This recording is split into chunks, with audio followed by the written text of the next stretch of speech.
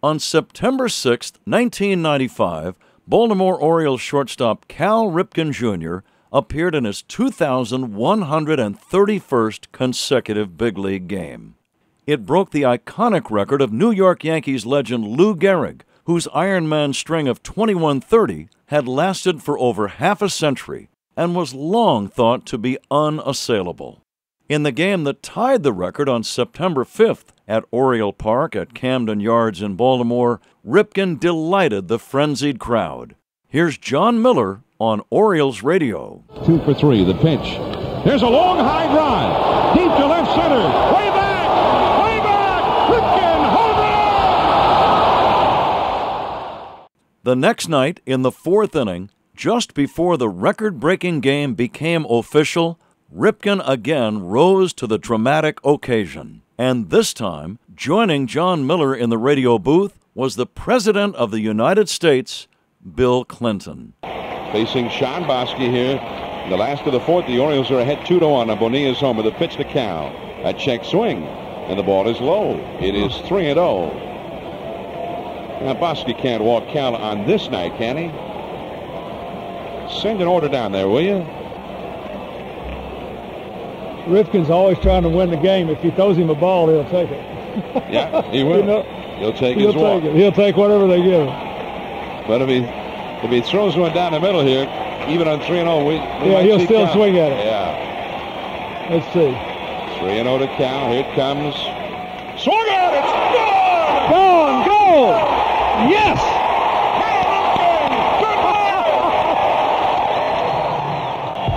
Well, he threw him a strike. That's right.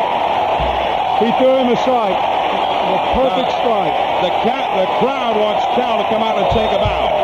They're still on their feet. And here he comes.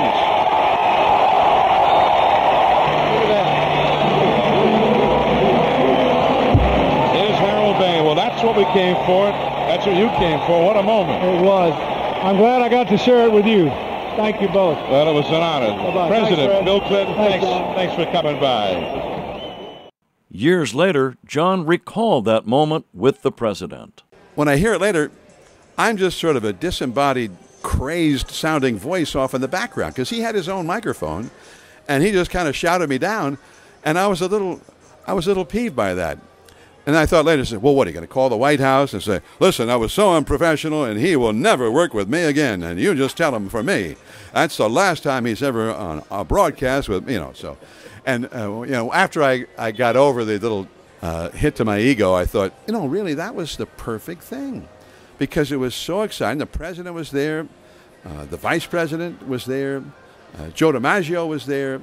The first fan, in, in effect, the president of the United States, led the cheering on Cal's historic home run on his historic night. So I thought, well, that's made it the best it possibly could have been. Then, in the fifth inning on September 6, 1995, came the moment that everyone was waiting for Cal Ripken passing Lou Gehrig.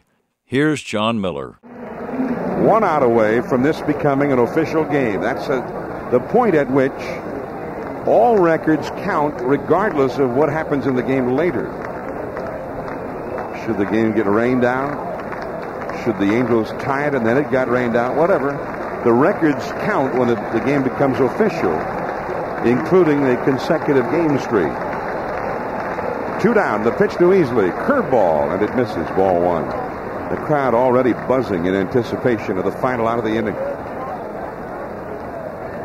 And that's one of the, the big moments that they came for, that streak becoming official. Right now in the warehouse, it reads 21-30. The pitch to Easley, fastball, just missing outside. 2-0. Now the windup.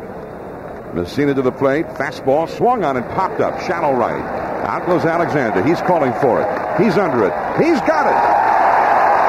The inning is over, and the game is an official game. The Orioles come off the field. Ripken runs across and toward the dugout, and some of his teammates there to, to greet him with the handshakes. Music begins, and everybody directs their attention now to the warehouse in right field. The record that they thought would not be broken has now officially been broken.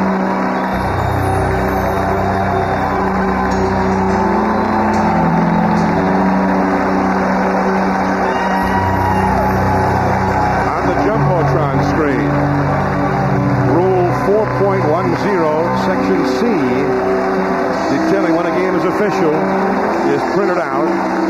Members of the Baltimore Police Department begin walking out onto the outfield warning track now. The Orioles bullpen members have all come running in from left center. The president and the vice president are standing and watching.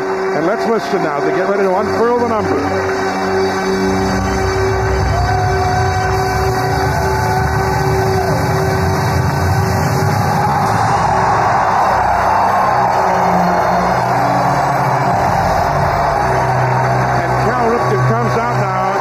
His cap. All of his teammates surrounding him. All of the California Angels are out of the top step of the Angels dugout. Cal looks over to his wife, Kelly. Throws her a kiss. Doffs his cap again. And a cannon fires out in center field.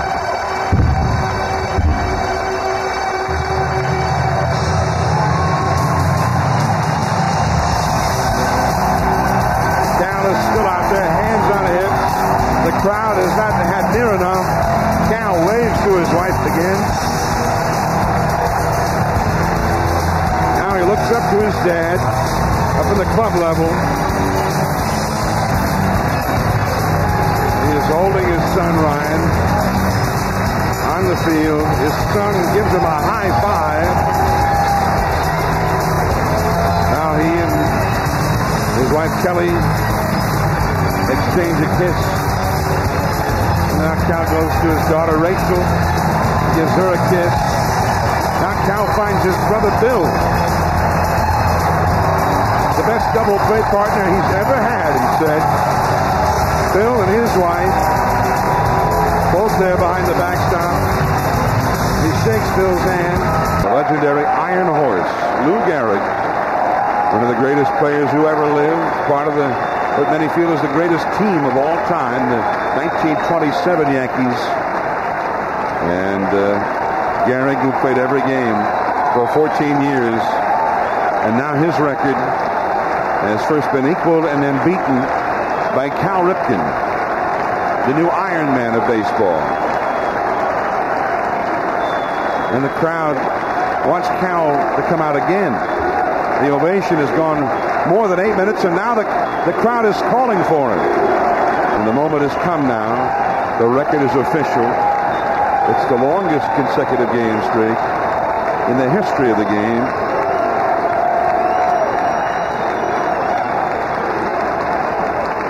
Aaron beat Ruth's record for career homers. Maris beat Ruth's single season record. Rose beat Ty Cobb's base hit record. And now Palmeiro and Bonilla bring Cal out. They want him to take a jog, I think. They want him to take a jog around the field, and there he goes. Jogging down the right field line, shaking hands along the way.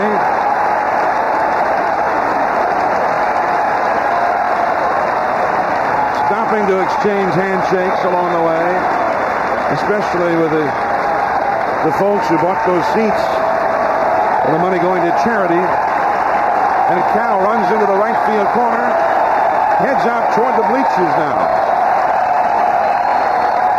Waving to the entire crowd tonight. Yastrzemski did this at the end of his career after his last game at Fenway Park. And he, he took a jog around Fenway. And it was almost as if Palmeiro and Bonilla said, this is the only way we're going to get the game started again. You better go out and meet the people. Wave to them. Cal now out of the center field bleachers. And a couple of handshakes and some fans out there.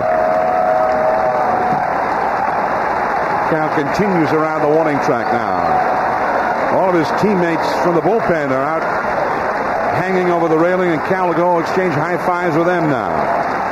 Mark Eichhorn out there in uniform tonight. Been on the disabled list all year, but he's out there tonight. Now he shakes hands with Elrod Hendricks. Now he's shaking hands one by one with all of the Angels players lined up on top of the dugout. Somebody's got a great banner that says Classic American Legend, Cal, C-A-L. And Rene Gonzales gives Cal a, Cal a hug. Gonzales's former teammate and backup, which is sort of like being unemployed, being Cal's backup. Joe DiMaggio still looking on, along with Frank Robinson, two Hall of Famers. DiMaggio not only played with Gehrig, but was there when Gehrig's streak ended. And was there for Lou Gehrig Day at Yankee Stadium in 1939. Now Cal back to his family. The game was delayed for 22 minutes to celebrate Ripken's achievement. Here is the way Jon treated Cal's final at bat that night in the bottom of the eighth inning. Cal Ripken, the pride of the Orioles. Tonight, game number 2,000. 131. Perhaps his final at bat of this night. How much magic is there left in that black bat? Two and two the count. James to the plate. Swing, line drive up the middle, base hit! Center field, Cal Ripken. Cal Ripken's streak would eventually reach the unimaginable number of 2,632 consecutive games played. The 2632 seems almost as unachievable as the 511 pitching wins of Cy Young.